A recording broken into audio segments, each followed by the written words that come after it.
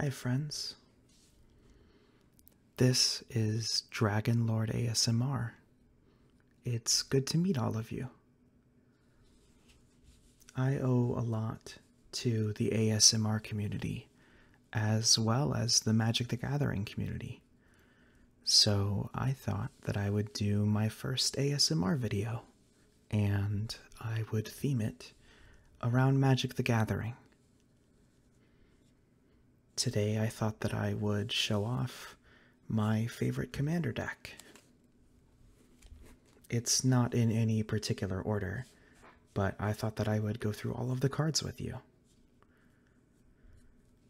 This is my blue and white Dragonlord Ojutai deck. My commander is Dragonlord Ojutai. It costs three, a white, and a blue for a 5 4 flying legendary creature, Elder Dragon. Dragonlord Ojutai has hexproof as long as it is untapped. And whenever Dragonlord Ojutai deals combat damage to a player, you look at the top three cards of your library. You put one of them into your hand, and the rest onto the bottom of your library in any order. So I've had this deck for a very long time. It's actually the first commander deck that I ever built.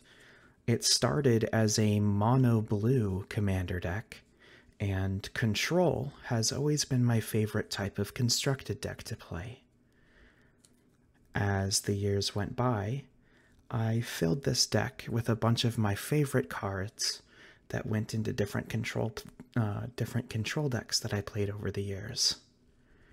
And Dragonlord Ojutai is one of my favorite creatures of all time, so I thought it only fitting that he would command it.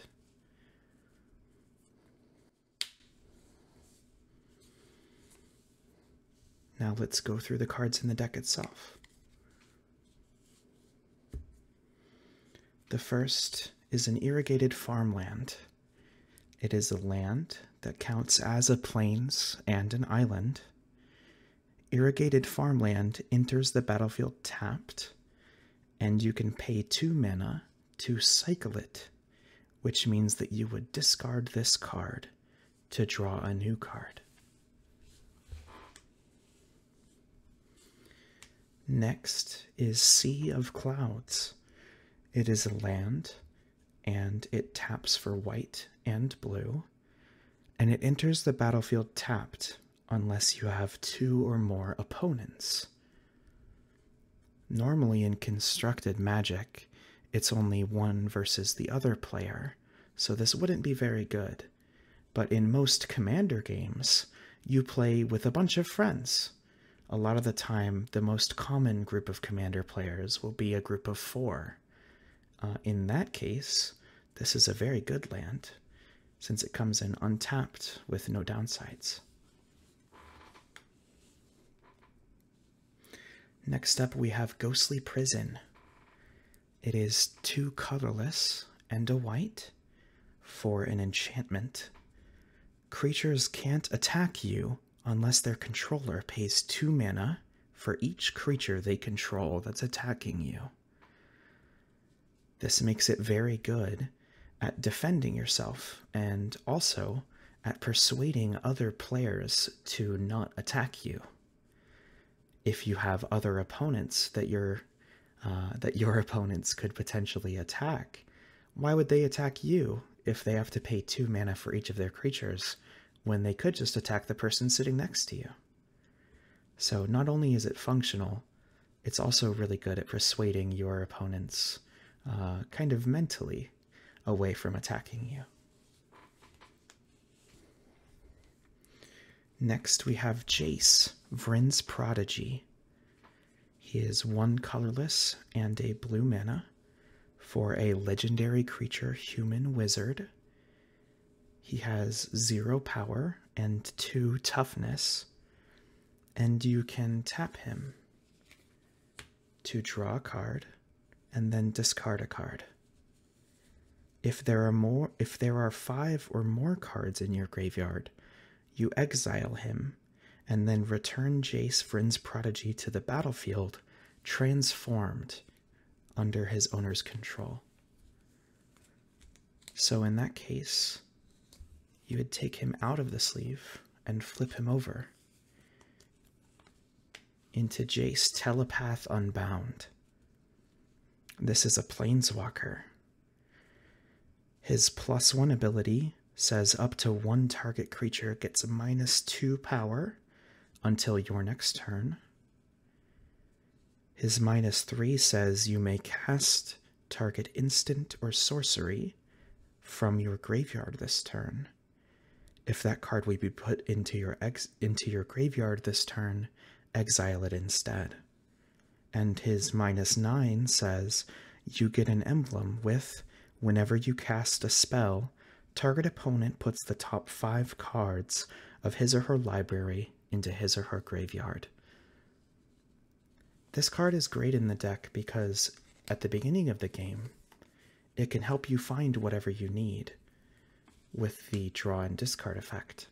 So if you're looking for lands to play, or if you're looking for answers to an early threat, it can potentially help you dig and find whatever you need.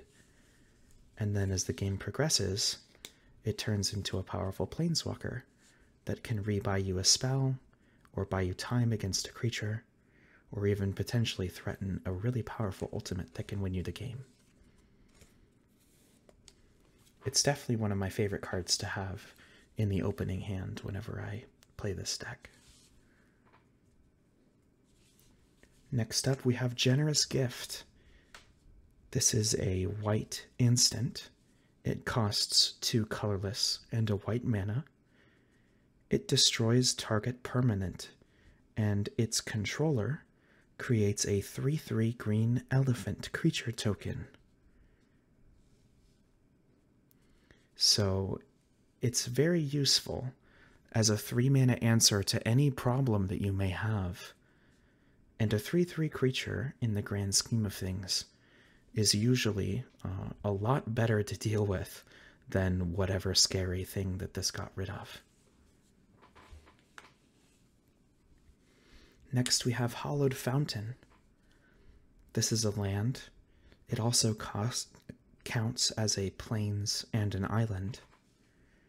It taps for a white or a blue, and as Hallowed Fountain enters the battlefield, you may pay two life. If you don't, Hallowed Fountain enters the battlefield tapped.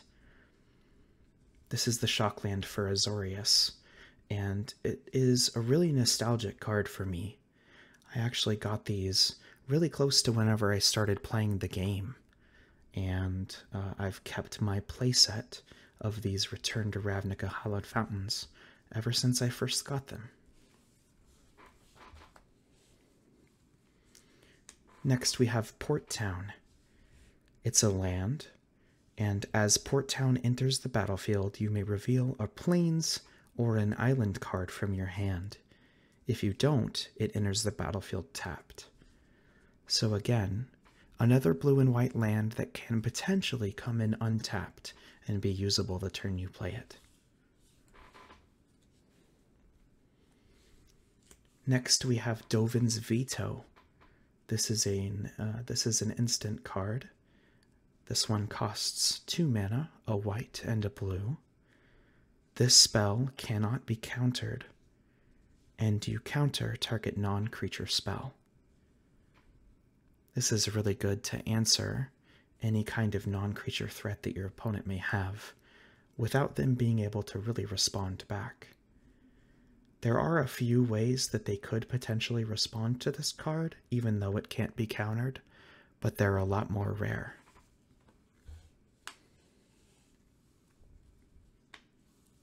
Next, we have Divine Reckoning. This is two colorless and two white for a sorcery. Each player chooses a creature he or she controls. Destroy the rest. And it has flashback for five colorless and two white, which means you may cast it again from your graveyard, and then you exile it after you flash it back. This is really useful because there's not very many creatures in the deck, usually my commander is the only one that will be out. So for me, it doesn't really have very much of a downside, but especially against opponents that are trying to fill the board with creatures, it can set them back really far if they have to choose only one to keep. Next, we have Counterspell. It is two blue for an instant. Counter target spell. Not much more to say about that. Next up, we have an island. I really like these full art islands. I also have the same uh, set for the full art plains in my deck. Just a little bit of added bling, I guess. Next up, we have Mana Drain. This is two blue for an instant. Counter target spell. At the beginning of your next main phase, add an amount of colorless mana equal to that spell's converted mana cost. This is a really powerful counter spell that can set you really far ahead early, uh, especially if you do something like, um, you know, play this on turn two to counter your opponent's three drop, and then give yourself three mana and immediately play Ojutai. Overall, just a very, very powerful card to have at your disposal. Next, we have Memory Deluge. This is two colorless and two blue for an instant. You look at the top X cards of your library, where X is the amount of mana spent to cast the spell. Put two of them into your hand, and the rest on the bottom of your library in a random order. And it also has flashback for seven total mana. So the first time you play this, you look at the top four and pick two to go to your hand. And once you flash it back, you look at the top seven to give you a little bit more card selection.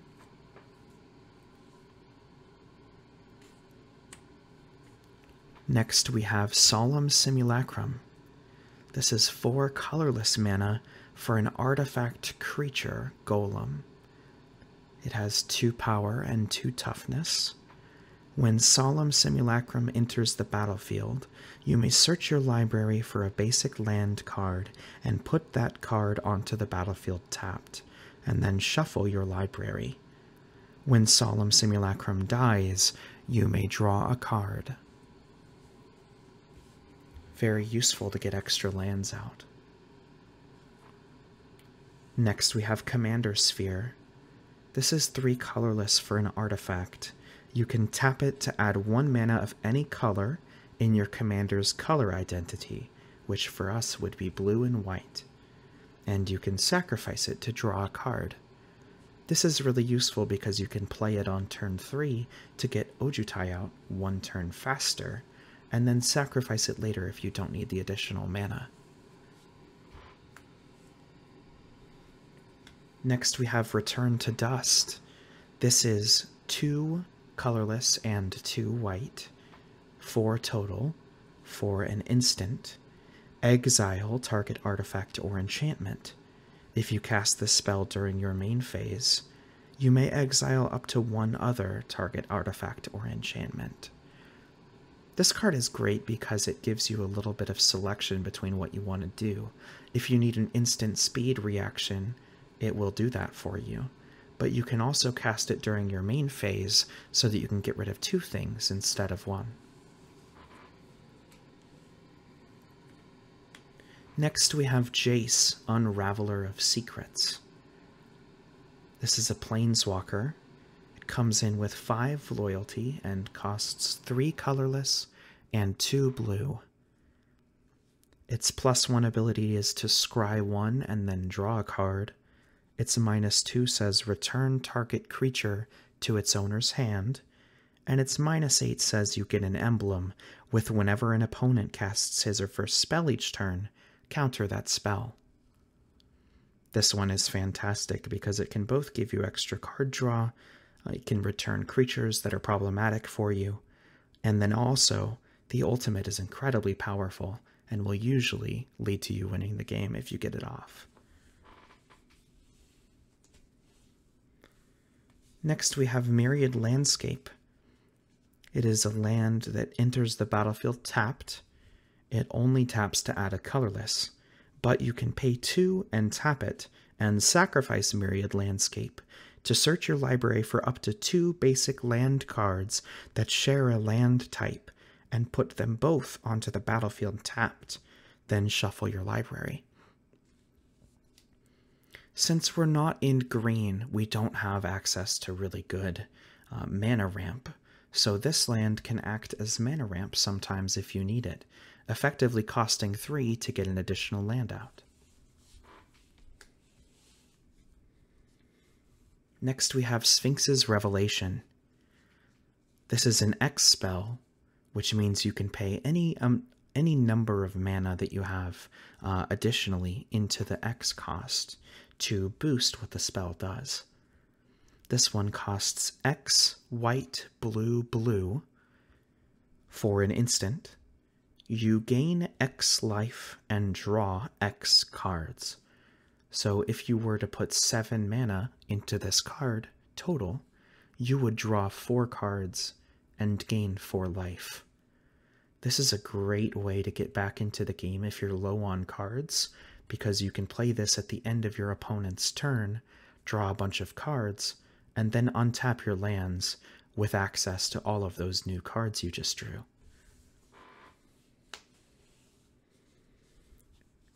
Next up, we have Soul Ring. It's a one mana artifact that taps to add two colorless to your mana pool. Any of you Commander fans out there will know that this card is a signature in almost all Commander decks. It's a very powerful artifact that you love to have in your opening hand. Next up, we have Duelist's Heritage. This is two colorless and a white for an enchantment. Whenever one or more creatures attack, you may have target attacking creature gain double strike until end of turn. This is fantastic in our deck, both because we can give Ojutai double strike to get two triggers whenever he hits to look at the top three and choose a card to go into our hand. As well, we can use it politically in our multiplayer games. If your opponent attacks someone other than you, you can bargain with them and say that you would give them double strike to not attack you and attack your opponent instead.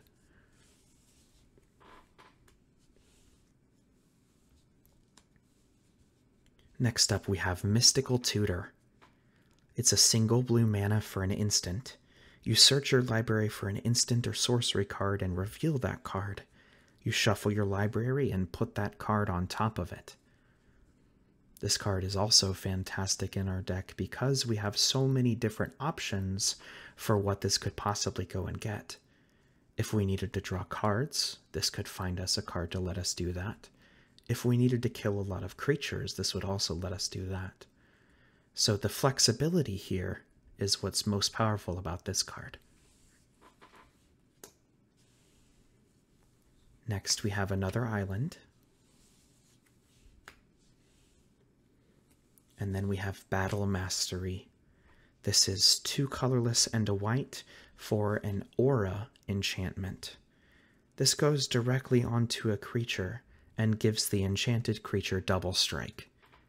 This pretty much always goes on Ojutai, again, just so that we can get those doubled triggers a lot of the time as well, we're trying to kill our opponents solely with Ojutai. So dealing the extra damage with Ojutai for that commander damage through double strike can be really helpful to put more pressure on your opponents to find an answer. Next, we have Enlightened Tutor. It's a single white mana for an instant, very similar to the Mystical Tutor we talked about earlier. It lets you search your library instead for an artifact or enchantment card and reveal that and put it on top of your library, same as the other one. Again, the power here is with the versatility. If you need a card or an, an enchantment to help you protect yourself, this can go get that. If you need an artifact that can get you more mana, this can get that instead. Whatever you need, it will provide you with.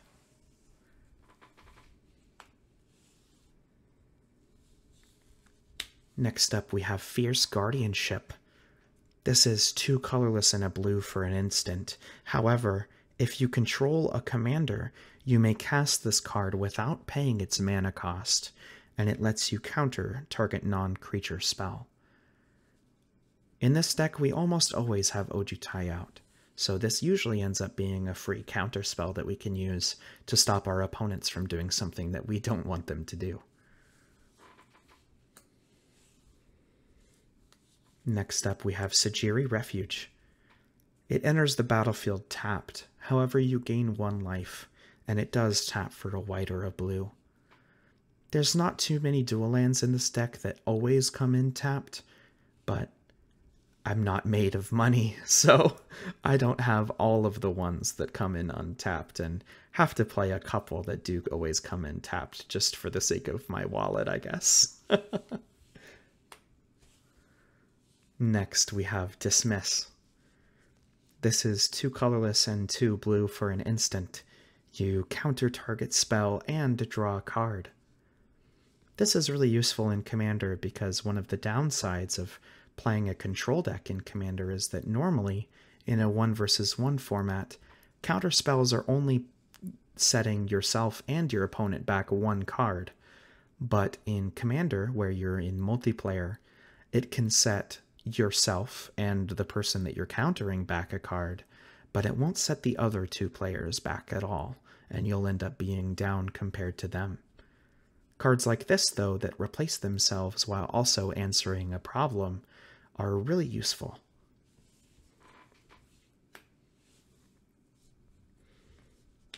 Next up, we have Disenchant.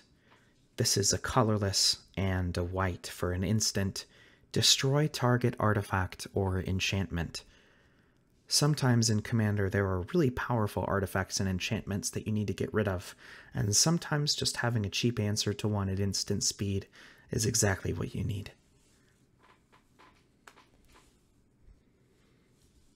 Next up, we have Mind Stone. This is a 2 mana artifact that can tap to add a colorless mana. You can also tap 1 mana and tap it to sacrifice Mind Stone and draw a card. Similar to Commander's Sphere earlier, this is a card that can give you mana early if you need it, and then you can sacrifice it later if you no longer need the mana so that it will replace itself. Next up, we have Hengegate Pathway. This is a land that taps to add a white. However, it actually has two sides. The other side is Mistgate Pathway, and it taps to add a blue. Whenever you play the card, you get to choose which side you play it on, so it can add either a blue or a white, depending on what kind of lands you're lacking.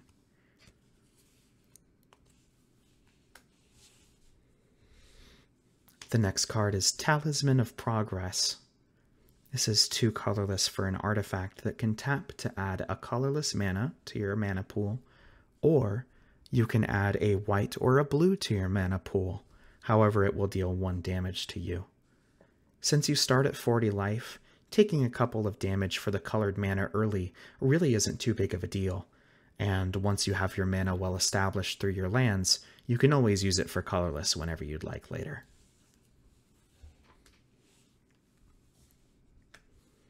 The next one we have is Glacial Fortress. Glacial Fortress is a land that enters the battlefield tapped unless you control a plains or an island. It taps to add a white or a blue, of course. I really like this art. There's been a couple other different printings of different art for Glacial Fortress in the last few years, but I'm really particular to this certain art. I just think it looks really neat. If you do look up the art yourself, you might not be able to see it here, but there's a very small man climbing all of these steps up this glacial fortress. Next up, we have Castle Ardenvale. This is a white land. It enters the battlefield tapped unless you control a plains.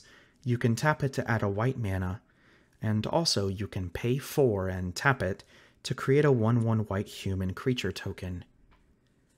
In Commander, a lot of the time this uh, has a little bit of a niche use, but sometimes you can use it to create a 1 1 blocker whenever your opponents are attacking you with a big scary creature that doesn't happen to have trample.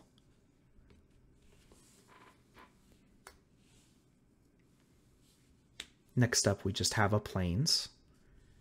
This taps for a single white mana, of course. The next card is Opt. For a single blue mana, it's an instant that allows you to scry one and then draw a card. Scry allows you to look at the card uh, on top of your library, and then you may put that card either back on top or on the bottom if you don't want it. You scry equal to the numbers, so for this one, you would just look at the top card. But if you had scry 3, for example, you would look at the top 3 and put them back in any order if you'd like. This card is really nice to have early, again because of just the early card selection. It lets you find a land if you need it, or an early answer. Whatever you need, it can help you find.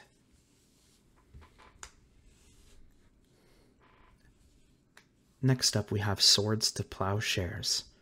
This is a single white mana for an instant that exiles target creature. Its controller gains life equal to its power. Since we're dealing commander damage with Dragonlord Ojutai, we really don't care about the life gain at all. And uh, exiling any creature for one mana is an incredibly powerful effect. Can get rid of opposing commanders, or really, really powerful creatures that are threatening you.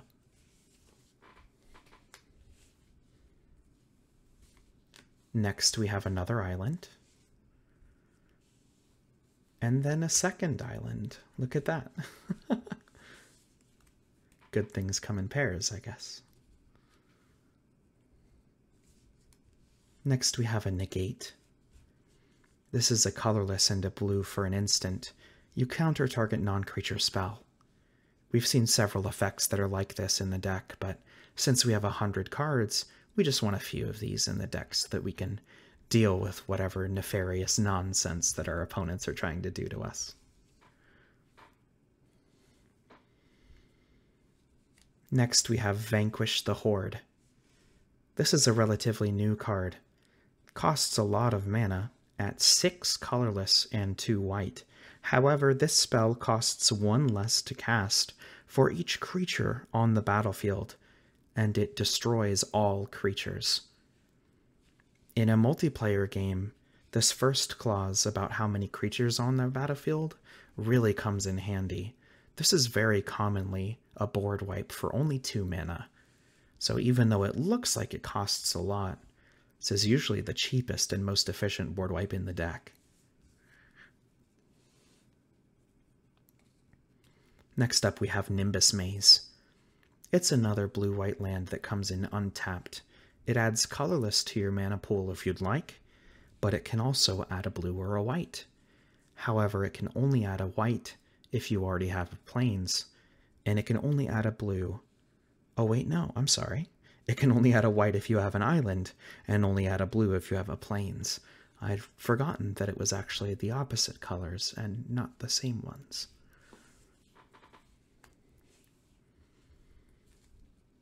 Next up, we have Command Tower. It's a land that comes in untapped and adds one mana of any color in your commander's color identity. Again, for us, that would be blue and white. Command Tower is, again, a staple of Commander. Um, it adds, even if you had a five color commander, it would give you all five colors and come in untapped with no downsides. It's a very powerful land, but of course, you can only put one in your deck.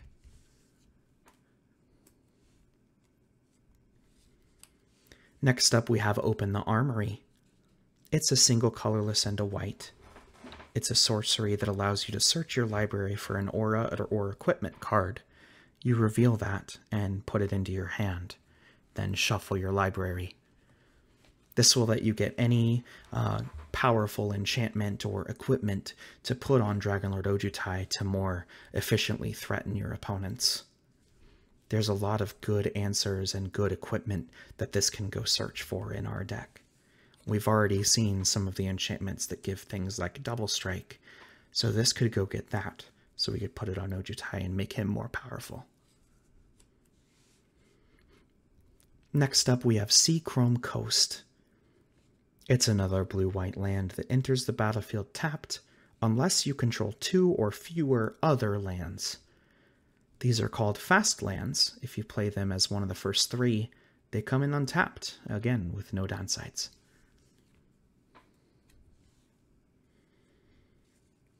Next up, we have Preordain, another early card draw card selection card. This is a single blue mana for a sorcery. Use Scry 2 and then draw a card. As I was talking about Scry earlier, this would allow you to look at the top two cards. If you wanted both, you could put them back in any order. You could put them both on the bottom, or choose one to put on top and one on the bottom. Then you would draw whichever one you had placed on top.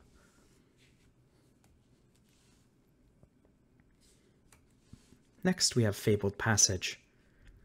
This is a land that you actually only have on the field for a very short amount of time.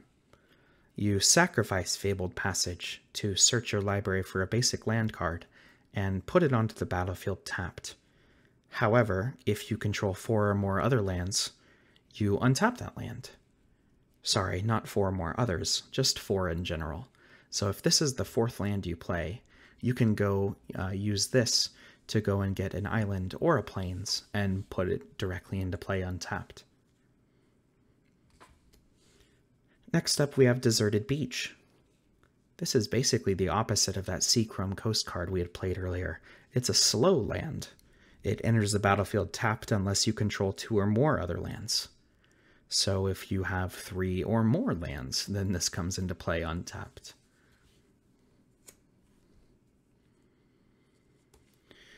Next, we have Disallow. This is a single colorless and two blue for an instant. You counter target spell, activated ability, or triggered ability. This card is useful because it will allow you to answer many different things that could potentially threaten you, whether it's a, a, a, scary spell, or a planeswalker activation, or a giant enter the battlefield trigger.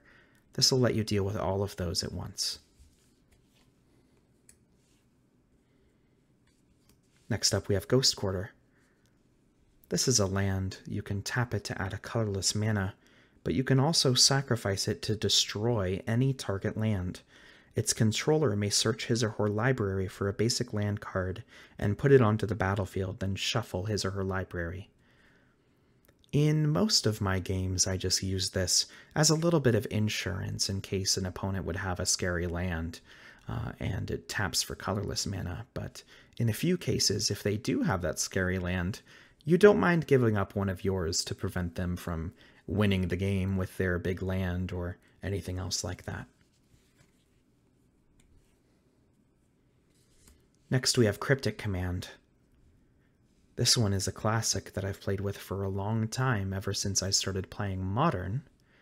This is one colorless and three blue mana for a total of four for an instant. You choose two among these four options counter target spell, return target permanent to its owner's hand, tap all creatures your opponents control, and draw a card.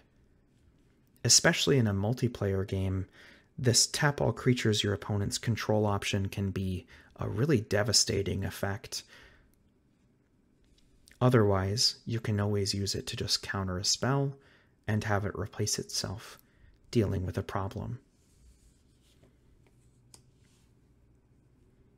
Next, we have Council's Judgment. This is a single, colorless, and two white for a sorcery with Will of the Council. Starting with you, each player votes for a non land permanent that you don't control. Exile each permanent with the most votes or tied for the most votes. This card is really fun in a commander game because it plays very heavily into the politics. You can make deals with your opponents to have them each choose something so that you exile two or four different cards, or you uh, can just get rid of, if there's one scary player, the rest of us could just agree to get rid of their most problematic thing.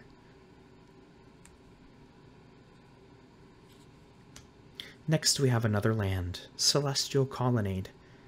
This one always enters the battlefield tapped and adds a blue or white. However, you can pay 5 total mana, 3 colorless, and a blue and a white. And this land will turn into a 4 4 white and blue elemental creature with flying and vigilance, and it is still a land. This can be pretty neat because it can block a bad creature or potentially threaten a planeswalker or anything else like that, and then turn back into a land and sit over here so it doesn't get hit by any removal spells or board wipes.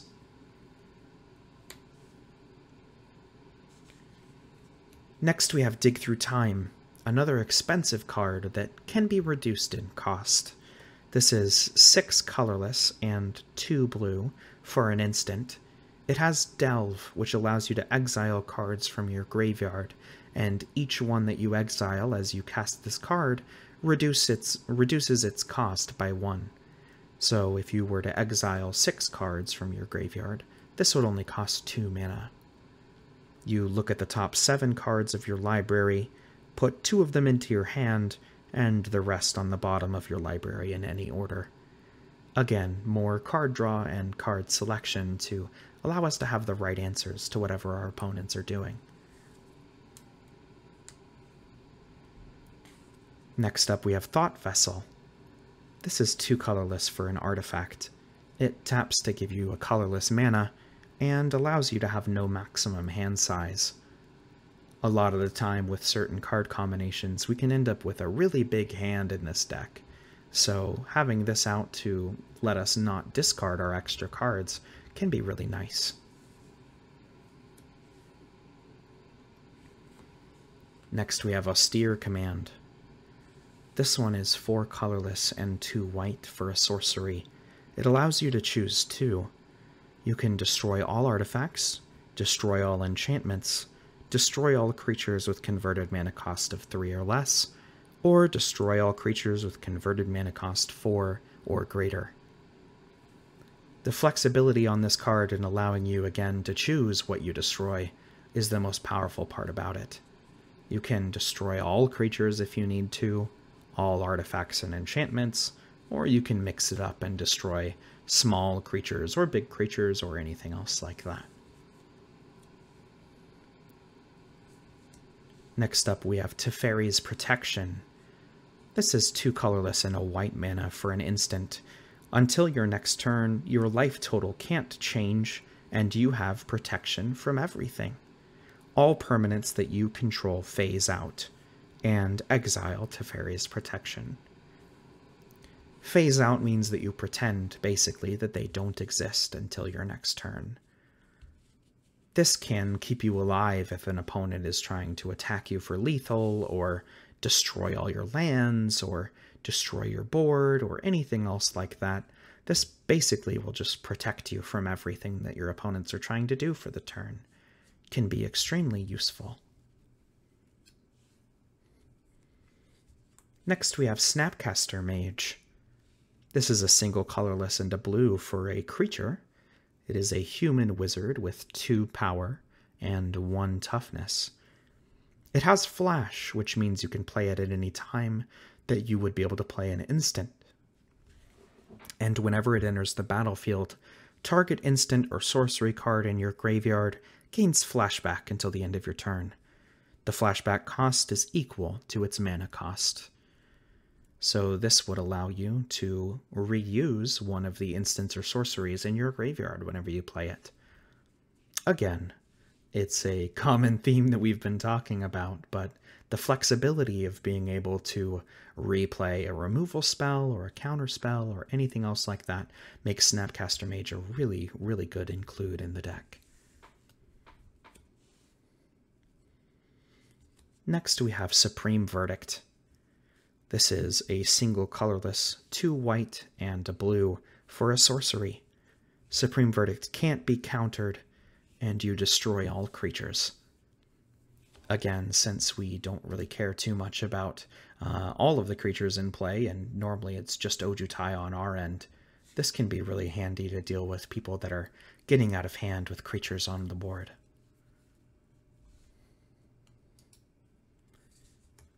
Next, we have Mind Spring. This is two colorless and X for a sorcery to just draw X cards. Very similar to the Sphinx's Revelation we talked about earlier. This one is actually in the deck for a specific reason. I'll tell you about that whenever we come up to the uh, to the card that this is in the deck to pair with. Mostly, this will allow us to draw a bunch of cards if we are out of cards in hand and need to refuel to get back into the game. Next, we have Disdainful Stroke. This is a single colorless and a single blue mana for an instant. Counter target spell with converted mana cost 4 or greater. In Commander, you're very frequently going up against big spells and big commander creatures and things like that, so this is usually a very versatile answer for whatever you need to counter that could be really large and threatening.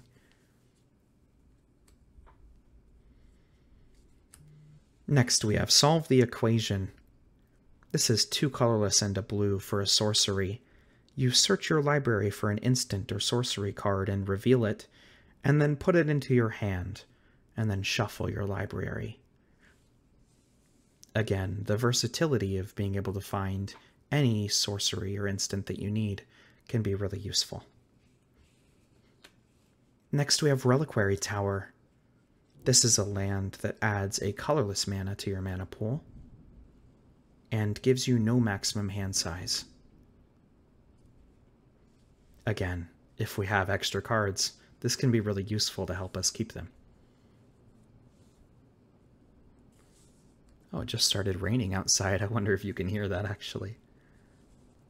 Next up, we have a plains. And a Temple of Enlightenment. Temple of Enlightenment always enters the battlefield tapped. When it enters the battlefield, you do get to scry one, and it adds a blue or a white to your mana pool. I would prefer if this came in untapped, but being able to scry one and set up your next draw is still pretty useful to have on a land that you can play for free. Next, we have a very interesting looking card. This is the dungeon module version of Hall of Storm Giants. This is, uh, if you would believe it, actually a land. If you control two or more other lands, it enters the battlefield tapped. It taps to add a blue, and you can pay six mana, and until the end of the turn, this land will become a 7 7 blue giant with Ward 3, and it's still a land. So again, another creature that can turn into a land to pressure planeswalkers or attack an opponent while still kind of protecting itself. This is actually a really powerful and really useful big creature land.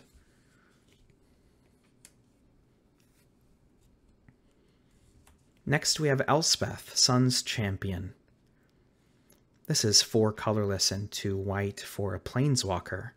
She comes in with four loyalty counters, her plus one says that you put three 1 1 white soldiers into play. Her minus three destroys all creatures with power of four or greater. And her minus seven says you get an emblem with creatures you control get plus two, plus two, and have flying. If you played Standard while Theros was legal, you know the power of this card. It can very commonly gunk up the board and block with all the creature tokens it makes destroy a lot of really powerful other creatures that are in play with the minus 3 ability. Or the minus 7 if you have enough soldiers built up from her plus 1 can win you the game on the spot with that huge buff for plus 2 plus 2 and flying.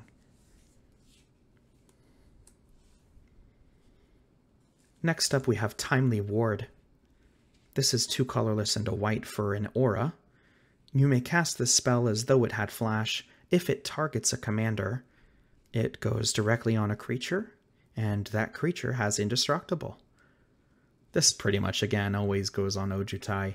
It's really useful to have because it will let him stay in play through a lot of our board wipes that destroy all creatures. Next up we have Propaganda. This is two colorless and a blue mana for an enchantment. Creatures can't attack you unless their controller pays two mana for each creature he or she controls that's attacking you. You remember the card that we talked about towards the beginning of this video called Ghostly Prison? This is the same card, just in blue. Again, very useful at persuading our opponents our opponents to attack someone else. Next we have Arcane Signet. It's two colorless for an artifact that can tap to add one mana of any color in your commander's color identity. We have a Plains and an Azorius Signet. This is two colorless for an artifact. You can pay one mana and tap it to add a blue and a white to your mana pool. So essentially, it ends up just becoming another one of these mana rocks that adds one. Next up, we have Prairie Stream. It's a land that counts as a plains or an island. It enters the battlefield tapped unless you control two or more basic lands. We do have a good number of basic lands in the deck, so this usually does come in untapped. Next up, we have Shadowspear. This is a one mana legendary artifact equipment. The equipped creature gets plus one plus one and has trample and lifelink. You can pay one mana to make permanents your opponents control lose hexproof and indestructible until the end of the turn, and it costs two mana to equip to a creature. This card is awesome in our deck because it can both give Ojutai a little bit more power as well as lifelink and trample, and if our opponents have creatures that are indestructible, we can use that ability to make them lose that and then destroy them with our board wipes.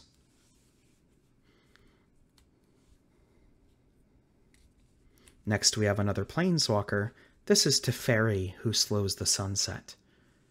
Teferi costs two colorless, a white, and a blue for a legendary planeswalker that comes in with four loyalty. His plus one says to choose up to one target artifact, up to one target creature, and up to one target land. Untap the chosen permanents that you control, and tap the permanents that you don't control. And also, you gain two life.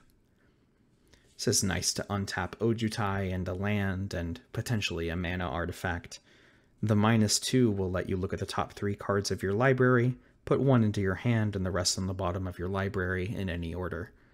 The same card selection that Ojutai gives us, but more is always better. And the minus seven says you get an emblem with untap all permanents you control during each opponent's untap step. You draw a card during each opponent's draw step. In a multiplayer game like Commander, this allows you to have so much extra card draw and extra mana on your opponent's turns, especially when a large majority of the cards in the deck can be played at instant speed. We have another island and in an Adarkar Wastes. This is a land that allows you to tap it for a colorless mana or you can tap it for a white or a blue. However, if you do, it deals one damage to you. Still usually worth it for the colored mana. Next, we have Flawless Maneuver. This is two colorless and a white for an instant. It allows you to play this card for free if you control your commander, and creatures that you control gain indestructible until the end of the turn. This is usually played in commander decks that have a lot of creatures in play and want to protect themselves from board wipes, but in this deck it's useful because I can play it for free to make Ojutai indestructible, and then play a board wipe and kill everyone else's creatures while Ojutai stays alive. Speaking of board wipes, we have Day of Judgment. This is two colorless and two white for a sorcery that simply says destroy all creatures. Speaking of board wipes again, we have Wrath of God. This is a two colorless and two white again for a sorcery that says destroy all creatures. This one, however, says that they can't be regenerated either.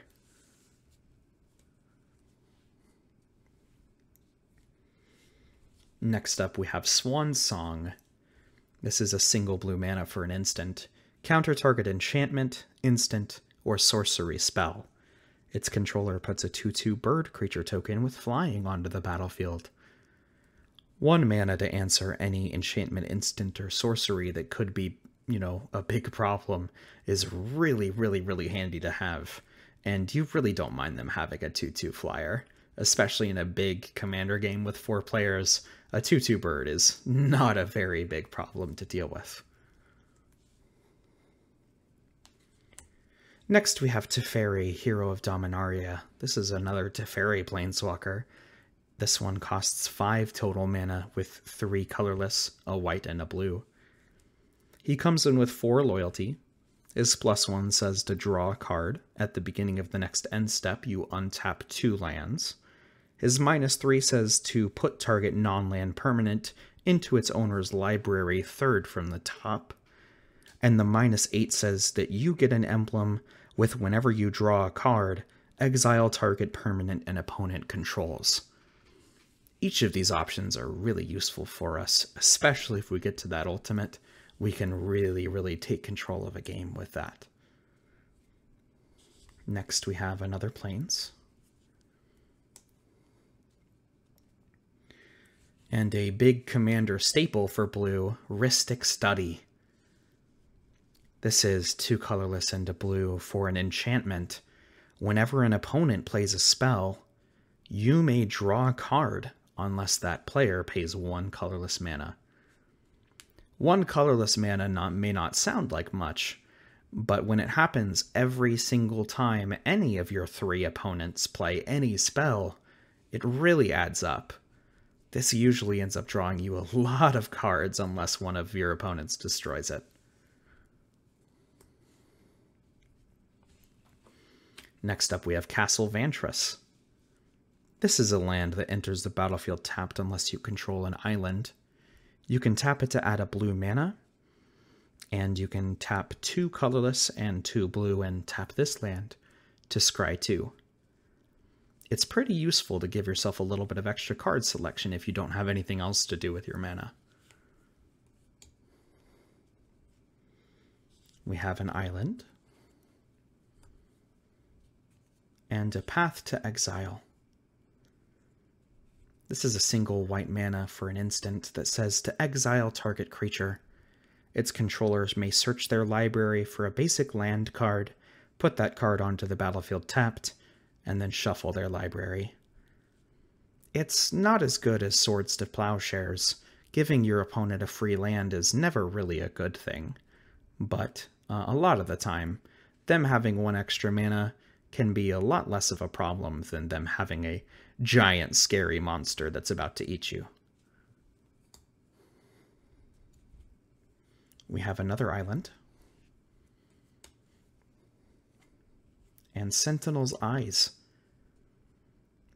This is a single white mana for an aura enchantment. It goes directly on a creature, and the enchanted creature gets plus one plus one and has vigilance. You can also use the escape feature to pay a white and exile two other cards from your graveyard to recast this from your graveyard if it's in there. This is really nice as a repeatable way to give Dragonlord Ojutai vigilance, since it has hexproof if it's un uh, untapped. If you give it vigilance, it keeps hexproof while it's attacking, which can be really handy. Speaking of untapping Dragonlord Ojutai, we have Minamo, School at Water's Edge. It's a legendary land that taps for blue. You can also pay a blue and tap Minamo to untap target legendary permanent. So if your Dragonlord Ojutai is tapped and an opponent tries to kill it, you can use this to untap it in response and give it hexproof. Next, we have another Planeswalker, Jace the Mind Sculptor. This is two colorless and two blue for a Planeswalker. Starts with three loyalty. He actually has four different abilities. A very powerful Planeswalker. His plus two says to look at the top card of target player's library. You may put that card on the bottom if you would like, if you don't want to deal with whatever you're looking at, whether it's on your library or theirs. His zero says to draw three cards and then put two cards from your hand back on top of your library. His minus one says to return target creature to its owner's hand. And his minus 12 says to exile all cards from target player's library. Then that player shuffles his or her hand into his or her library. So you get rid of someone's entire deck and then also their hand, and their their current hand becomes their library. That ultimate will usually just kill someone if you can get it off, but I actually find that I don't use that too often in this deck. Most of the time, I find myself just using the plus two to set up my own draws or to kind of hinder my opponent's draws. The minus one to bounce a creature, or the zero for a lot of card selection.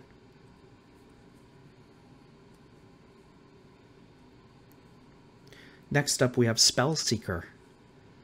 This is two colorless and a blue for a creature human wizard with one power and one toughness. When it enters the battlefield, you may search your library for an instant or sorcery card with converted mana cost of two or less, reveal it, put it into your hand, and then shuffle your library. This card is really useful to have just because, again, it can search for pretty much anything that you need at the moment. The card I was talking about earlier, that costs 2 and X, if I remember what it's called. There it is, Mind Spring. I forgot what it was called for a second.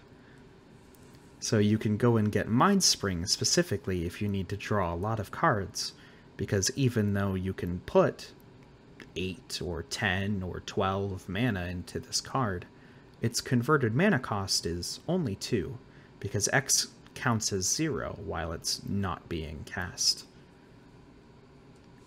This can also go and get removal spells like Swords to Plowshares or Path to Exile. It can go and get Disenchant if you need to get rid of an artifact or enchantment.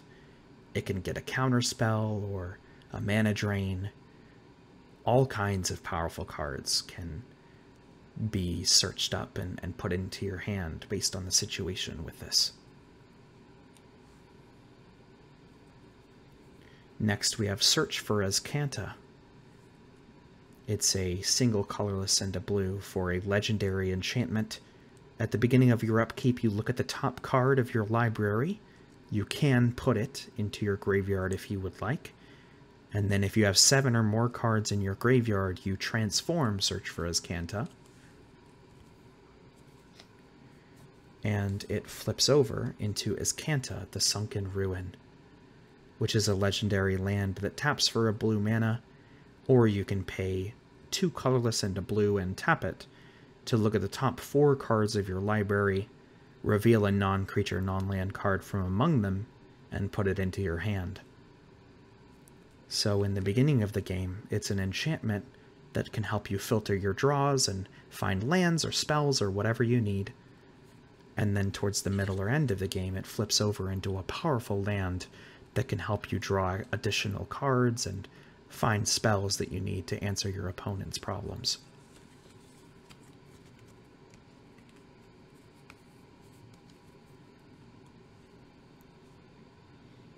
Next up, we have Smothering Tithe. This is three colorless and a white for an enchantment. Whenever an opponent draws a card, that player may pay two mana. If they don't, you create a colorless treasure artifact token with tap to sacrifice that artifact and add one mana of any color. Again, in a commander game where you have multiple opponents that are all drawing cards on their turn, this can be really oppressive, forcing them to either spend their mana to stop you from getting more, or putting you really far ahead with a lot of free additional mana.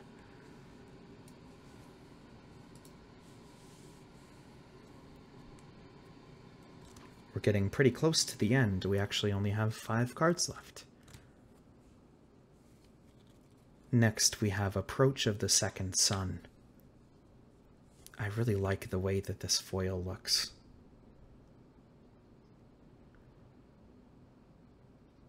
Approach of the Second Sun is 7 total mana, 6 colorless and a white for a sorcery. If Approach of the Second Sun was cast from your hand and you've cast another spell named Approach of the Second Sun this game, you win the game. Otherwise, put Approach of the Second Sun into its owner's library, seventh from the top, and you gain seven life. This was a really powerful win condition card for blue white control decks during the Amonkhet days. However, it's actually really useful, specifically with Ojutai's ability. If you cast this card for the first time, it goes into your library seventh from the top. If you then attack with Ojutai, you look at the top three cards and put one into your hand. This would be fourth on the fourth from the top in that case. Then, on your next turn, you would untap everything, draw your card for the turn. This would be third from the top. You could attack with Ojutai again, and you would look at the top two and approach of the second sun again you could take that and recast it and win the game. So even though normally the flavor of the card is that you're supposed to wait seven whole turns before you can find this and cast it again, you can cast it on one turn, attack with Ojutai twice, and then cast it again the very next turn to win the game. This is probably the most common way that this deck wins the game, outside of Dragonlord Ojutai killing everyone. Next, we have another commander staple. This is Cyclonic Rift. It's a single colorless and a blue mana for an instant. You return target non land permanent you don't control to its owner's hand. However, it has overload for 7. You can cast this spell for its overload cost.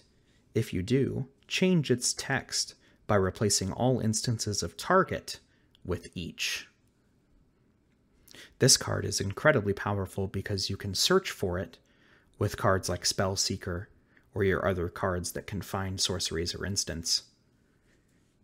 And then you can pay them, you can pay 7 mana instead of the 2 to cast it, to bounce all non land permanents that your opponents control at instant speed.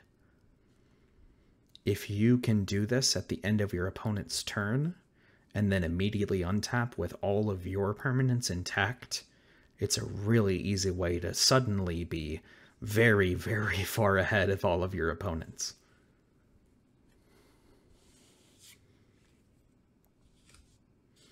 Next, we have Render Silent. This is a white and two blue for an instant.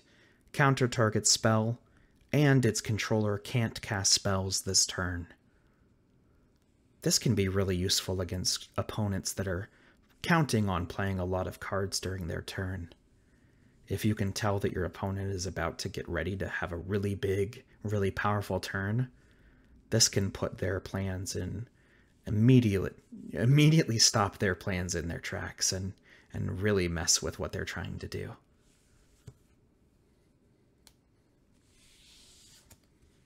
The last two cards that we have are just lands.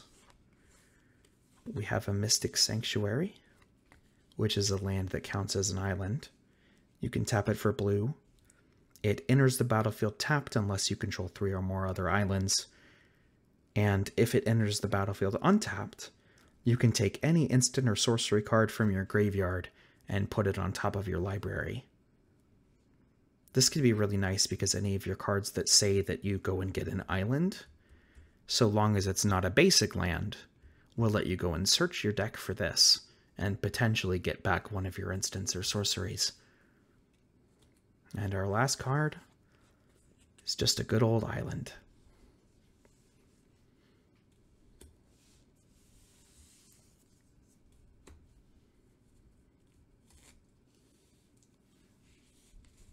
Thank you so much for watching this with me. I appreciate you being here. Take care. Have a good evening. Sleep well. And I'll see you next time.